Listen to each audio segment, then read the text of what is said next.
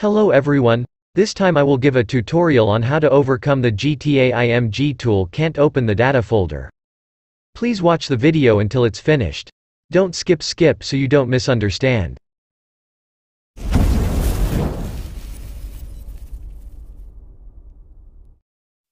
The first step, you open the ZArchiver application.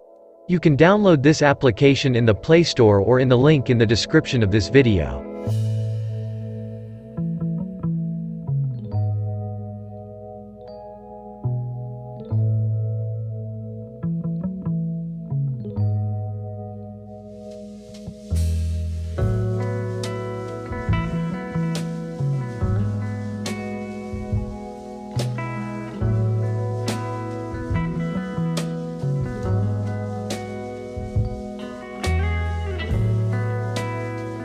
You move this file to any folder, as long as it's outside the data folder.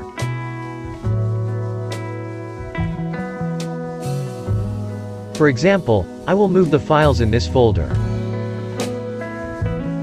If it has been moved, you open the GTA IMG tool application.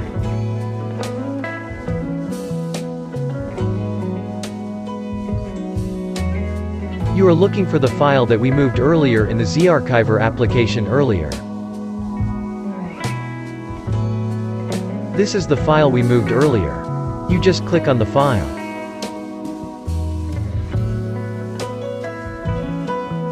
If so, all you have to do is enter the mod that you want to install. So, we actually can still install mods in this GTA IMG tool application. Provided that the file is moved outside the data folder first. If the mod has been installed, you click Rebuild.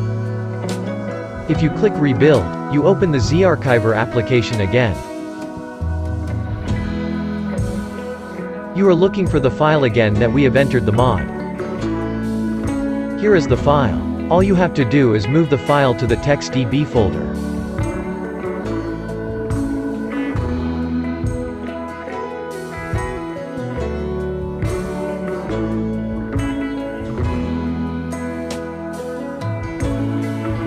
So in essence, if you want to install a mod, you must first move the file out of the data folder.